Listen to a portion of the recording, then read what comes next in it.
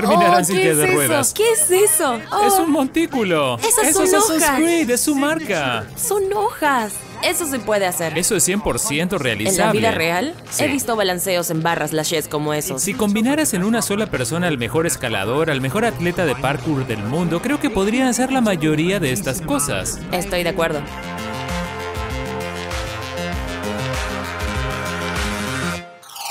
Mi nombre es Omar Saki y estoy súper emocionado de volver aquí. Hoy vamos a reaccionar al juego Assassin's Creed Valhalla y opinaremos sobre sus escenas de parkour. Y yo soy Sara Mudalal, o si hablan árabe, Sara Mudalal. Estoy aquí, estoy emocionada. Quiero comenzar. ¿Estás listo? Estoy listo. Vamos. Mira Ok, esto. así que este es el nuevo juego Oh, de wow. Assassin's Creed. Oh, Oh. ¿Cómo así? ¿Ya? Comenzamos con una pila de hojas. Oh, no creo que una pila de heno amortigüe eso. Creo que si cayeras ahí te quebrarías Sí, la ni espalda. siquiera era una pila densa, o sea, al caer te romperías la espalda. ¿Viste que hizo un giro lateral en vez de un giro de parkour hacia no adelante para aterrizar? Mira el traje que lleva con esa capa, eso es. Ok, eso es difícil. Esa fue una fea voltereta lateral, pero creo que es por el personaje que interpreta. Lo interesante es que cuando aterrizamos en el parkour queremos no impactar contra el suelo, sino absorber el impacto. Al hacer la voltereta lateral, distribuimos el impacto en varias partes del cuerpo para minimizarlo. No puedo creer la cantidad de ropa que lleva Oh. puesta. Es como una armadura, o sea, Es cierto. tendrías Debe que ser tan fuerte. Cargar con una armadura en cada movimiento, de cada extremidad, y Oh. vuelve a hacer la voltereta lateral. ¿Sabes qué? Ahora entiendo por qué esta hace Es volteretas porque está muy laterales.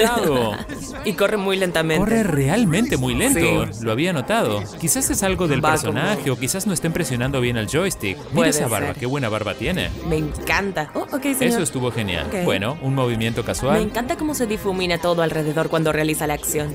Creo que la franquicia de Assassin's Creed fue el primer videojuego que realmente catapultó el parkour hacia el estrellato. Estoy de acuerdo. Y es que siempre los ha realizado muy muy bien. Recuerdo que había montones de videos de parkour realizados por artistas de cosplay. Pero bueno, es realmente genial que la franquicia siga en pie y siga utilizando el parkour con tanto detalle. Estoy de acuerdo contigo al 100%. Oh, lleva Oh, guantes. guantes antiastillas, muy muy inteligente. ¿Probaste esa rama del árbol antes de hacerlo? Usas demasiada armadura pesada Oh, para esa mira rama. eso. Está listo para. Ok, sí. Es como que no lo duda, solo arremete y ya. Yo Oh, diría que si una a correr en una soga tensa como esa, lo harías con tus brazos extendidos, porque eso te ayudaría a balancearte más. Si estrechas tu cuerpo, pierdes el balance. Al acercar las extremidades Es de tu verdad. cuerpo, pero eso probablemente no se vería tan bien de esa forma. No, exacto. Él solo Sí, camina como así como ninja, recio. Yo puedo hacerlo, ¿verdad? Pero sí, deberías expandir tu centro de Muy equilibrio. buena precisión de aterrizaje, Ok, ok. aunque... Me gusta el polvo que sale cada vez que toca el suelo. Ah, sí, un buen detalle. ¿A qué se está agarrando?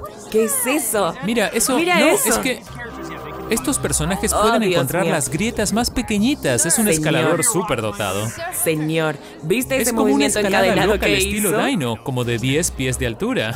Será mejor que no salte hacia otra montaña de heno. Ok, la mitad de su pie estaba como en el aire.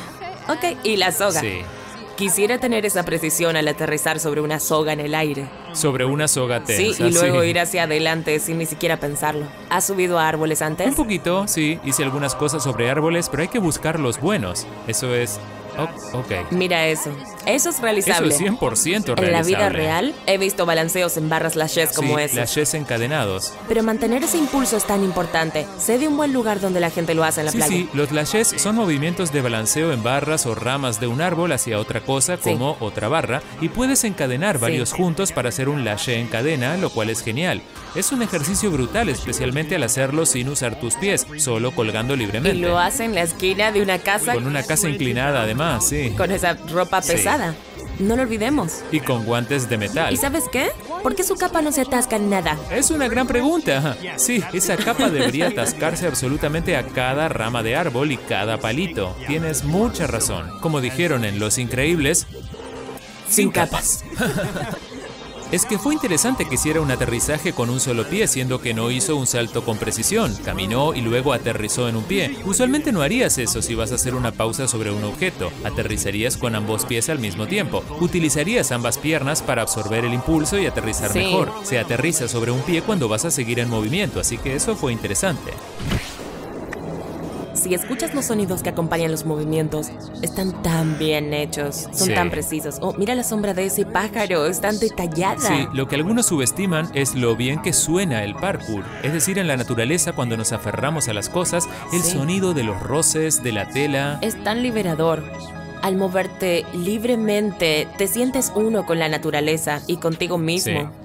Y cuando encuentras tu propio estilo, sientes que todo es posible para ti. Creo que esto se desarrolla en el año 800, es decir, hace más de mil años, y quizás las estructuras de esa época serían ¿Inestables? nada firmes en absoluto, pero también se usaban muchas más Exacto, piedras. Eso es lo que iba a decir. Hay otras estructuras que... Uh, eso fue. Ok, Wow, eso fue ¿qué un fue movimiento eso? de locos con sus manos. Brutal, muy bueno. Sí, porque cuando las personas suelen agarrar algo, continúan Sí. ese impulso. Pero él se detuvo y usó su fuerza para trepar luego. Sí, es divertido que es súper ágil cuando trepa sin balancearse ni nada, pero cuando aterriza hace esa voltereta lateral en el suelo al estilo Y tortuga. además, como corre tan lento, pero luego de alguna forma logra generar suficiente impulso. Bueno, excepto Ok, esa y zambullida. con toda esa ropa puesta, y la capa desapareció. Desapareció por un segundo, yo lo vi. ¿De verdad? Oh, me lo perdí. Oh, ¿va a regresar al agua? Quizás tenga calor. Y con tanta ropa. Oh, ¿ves Ok. cómo salta sin inercia? Aterriza con cada pierna y mantiene el impulso. Sí, señor. Ok, bien, eso se puede arreglar. Probablemente yo también hubiese hecho esto en los 800. En vez de pasar el tiempo en internet, escalaría Honestamente, cosas. sí, no habría otra cosa Excepto que hacer. tratar de no morir por una ¿Viste enfermedad cómo rara. subió usando solo una mano? Usó la segunda solo para terminar de subir. Solo para presumir. Esta arquitectura es de ensueño, Absolutamente. absolutamente hermosa. Mira ese heno blanco. ¿Será nieve? Quizás seno cubierto Está de bien, nieve. si te parece. Sí, eso parece. Oh, aquí vamos. Terminará la silla de Oh, ruedas. ¿Qué es esto? ¿Qué es esto? Es un montículo. Es Esas son Assassin's Creed. Es su marca. Son hojas. Ok, ¿preferirías caer sobre hojas o heno? Heno. Escoge tu opción. Preferiría el heno. Ok, deberíamos hacer un experimento para ver cuál sería mejor, hojas o heno. Yo paso. Esto sí parece realizable. Sí. Ese muro pareciera que estuviese ligeramente inclinado, lo cual facilita También escalarlo. tiene suficientes rocas hacia afuera. Que te dan un buen agarre. sí, he visto muchos de esos, así que es bastante realista. Oh, ese deslizamiento. Y sus botas están heladas o quizás solo tengan nieve. Más sogas. Oh, oh, eso es. mm. Oh, se resbaló. Creo que vi ¿Se algo. resbaló? ¿Se resbaló? Sí, gracias. Ok. Eso es preciso, 100% preciso. Oh, en realidad lo blanco desapareció de sus botas. ¡Qué genial! Sí, es genial. Es genial, me gusta eso. Oh, los detalles son tan buenos. Sí. Pensaron en o sea, todo. los programadores deben decir, sí, alguien lo notó. Nuestro trabajo no fue tan inútil. Sí, esto parece Sí, la bastante dinámica estuvo buena. Nada de superhumanos fantásticos. Amo cómo saca ese palo de la nada y lo usa para colgarse. Sí. Sí, anda con buenos palos en los O bolsillos sea, además de la si cantidad de ropa colgarse. que lleva, eso debe ser como Sí. esas jaquetas con muchos bolsillos. Sí. Sí, quizás sea ese tipo de atuendo. Creo que es interesante que es ágil al moverse, pero cuando aterriza se lo nota pesado, con mucho impacto. A veces pone sus manos en el suelo y como que gatea un poco Sí. para estabilizarse. Lo cual es lógico para alguien tan pesado que no pueda moverse súper rápido de la nada. Tiene que ir tomando impulso, quizás, no sé. Aunque quizás, no sé, así no lo sé. No. Pero nunca corre muy rápido. No lo hace.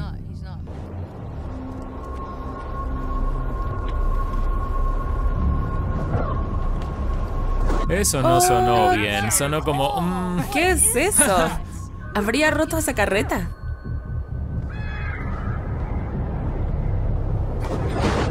Un Y eso ni siquiera es excelente. profundo. ¿No hay gente que hace clavados a 444 pies de altura? No lo En sé. cuanto a la exactitud de la entrada al agua, sí. Qué lindo escudo, me encanta el diseño del ¿Y escudo. de dónde lo sacó? Sí, de Antes verdad. no lo veía. ¿Dónde está Ya la no capa? lleva capa. ¿No lleva Tiene capa un o es otra diseño de persona? una flor de tres puntas o algo así. Wow, aquí vamos. O quizás por eso hace la voltereta rara, porque tiene un escudo gigante Señor. en la espalda. No puedes. Te quebrarías cada hueso del cuerpo. Pero no sé, si te caes de costado, quizás el escudo pueda absorber algo de Es ese que impacto. cae y luego gira para aterrizar. Ok, no aterrices sobre tu espalda, aunque se ve bien. A él no le importa, solo sigue cayendo. Eso se ve divertido. Oh, pero ¿qué tal si la nieve lo amortigua? Depende de la nieve, Sí. la calidad de la nieve. ¿Es nieve pesada y gruesa la que te va a atrapar o es nieve congelada y muy dura? Mira eso. Uh, ese deslizamiento, me encanta. Ahora es como un guerrero vikingo que pasa el tiempo haciendo deslizamientos en la nieve. Este lugar se ve genial.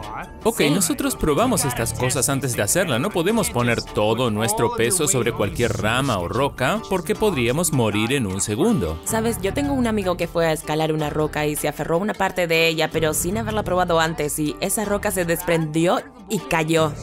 Afortunadamente él tenía su otra mano en otra parte de la roca y se salvó, pero siempre debemos probar los materiales antes de comenzar. Todos, el 100% de los videos de parkour que se ven en internet han sido muy practicados antes. Y todo ha sido chequeado y confirmado como Exacto. seguro y luego muestran lo que hacen. Nadie solo Sí, lo hace 100%. a menos que estén exponiendo sus vidas, 100%. así que si vas a hacer parkour, por favor chequea tu entorno siempre. 100%. Hasta los lanzamientos al agua se chequean todo. Lo que, Lo que sea. O sea, pruebas la profundidad del agua, si hay algo sumergido en el agua, por ejemplo, se chequea todo. Porque no importa qué tan bueno sea, si te resbalas o si algo se cae, si algo se rompe mientras estás encima, no importa qué tan bueno Porque los accidentes también pasan. Sí. O sea, no puedes pararte sobre eso. Sí. Oh, ¿a dónde va? Si quieres saber Eno, si había eso heno no allá abajo, tan bien, tuvo un rebote. quizás no tuvo suficiente heno. Me gusta la cantidad de telarañas Oh, que hay. ¿viste? Eso fue un buen Eso salto. un buen- Sí, un salto con las piernas hacia un lado. ¿Sería un salto lateral? Salto Sí, lateral. podría ser un salto lateral, sí. Oh, creí que nada más iba a caminar, pero eso fue preciso. Genial. Eso es difícil. Tener solo las manos arriba de la columna e intentar Sí. colocar allí tus pies sin pisarte tus propios dedos. ¿Tú escalas? Sí, no tanto como tú, pero sí. Porque usualmente allí haces fuerza con tus Me manos. gusta cómo brilla su escudo, se ve genial. ¿No se supone que es el año 800? o Quizás sea, alguna ¿cómo piedra preciosa que acumule o refleje la luz del sol, algo así. Quizás una mejor tecnología que aún no entendemos. Sí. Aún nos preguntamos cómo se construyeron las pirámides o el Stonehenge, ¿verdad? Seguro que este chico Seguro lo que sabe. lo sabe. Él lo sabe.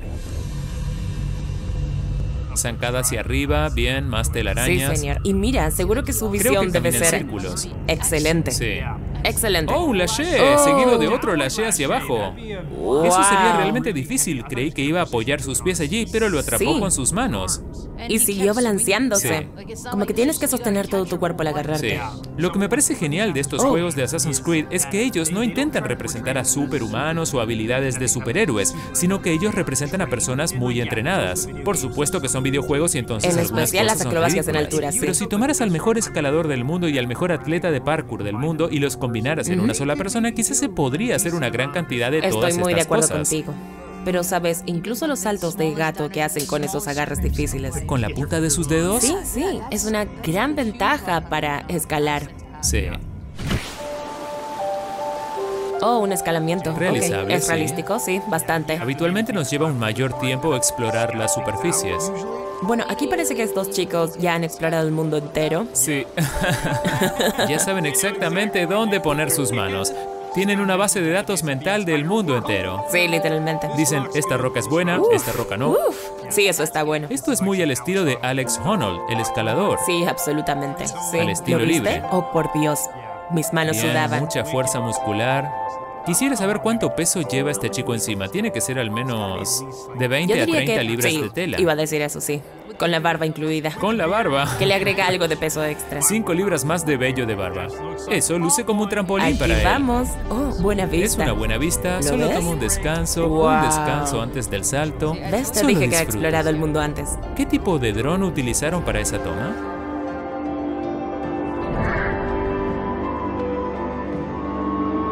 Gracioso como el heno siempre está allí, en el momento correcto. ¿Sabes lo que digo? Sí, siempre perfectamente ubicados. Es lo que te decía. Él ya ha explorado Me todo. gustaría que luego de que saltara, alguien casualmente moviera la carreta con el heno sin darse cuenta. ¿Cómo aterrizaría? ¿Por qué moviste el heno? Como en las locuras del emperador, cuando el gato está cayendo y luego el chico dice, por última vez, yo no ordené un trampolín gigante. Oh, sí, sí, sí, ¿Recuerdas? sí, sí, sí. Y luego cae en el trampolín y rebota de vuelta. Esto es genial. Escalar estatuas de piedra. Yo quisiera hacer cosas como estas, pero no quisiera dañar el arte o ser arrestado Sí, por muy cierto, destrucción de la cierto, propiedad muy o cierto. vandalismo. Porque Italia tiene muchas de esas Sí. cosas. Y wow. Recuerdo que fui a Italia cuando era una niña. Desearía haber sabido sobre parkour en ese entonces. Hubiese apreciado más su arquitectura. Por eso los gimnasios de parkour actuales son geniales, porque comienzan a incorporar objetos no tradicionales o cosas raras que nos gustaría trepar ahí fuera. Pero no puedes y aquí sí. Creo que el lugar más bonito, aunque no he estado allí, pero he visto muchos videos, es Santorini. Es Sí. increíble, es el paraíso Sí. del parkour. Todos los techos de Santorini están cerca, tan cerca que puedes recorrer toda la ciudad por los techos. Y lo que es más importante es que a la gente de allí no le importa, no les importa, no les importa. Organizaron una competencia de parkour en Santorini. Sí, creo que lo mencionamos en uno de nuestros videos. Les conté que hasta nos dieron comida. Nos llevaron el almuerzo estando arriba de uno de los Uh, techos bueno. en Santorini, en Grecia. Seguro debieron notar que estabas cansado de tanto entrenar y por eso te dieron comida. Fue increíble. Pero sí, los techos están tan cerca entre sí y la arquitectura es muy sólida.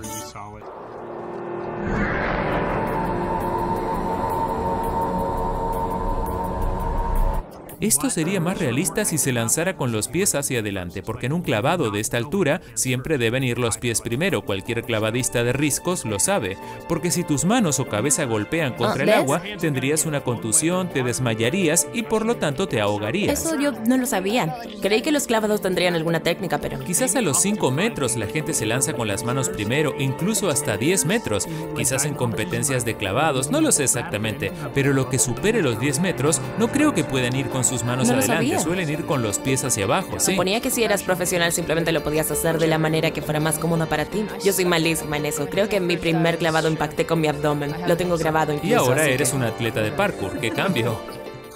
La técnica es perfecta, pero cuando se trata del entorno, si saltas sobre ramas de árboles, Sí, ese tipo de cosas no se deben hacer sin verificarlas antes. 100%. Especialmente cuando estás en cuevas. Sí, en O sea, cuevas. tu visión tiene que ser Si buena. pones un pie sobre un pedazo de madera vieja y se quiebra, te vas a ir hacia Sí. abajo. Siempre prueben las superficies, niños. Siempre. Y adultos. En parkour en general. Sí, y no recomendamos hacer parkour con un escudo en tu espalda.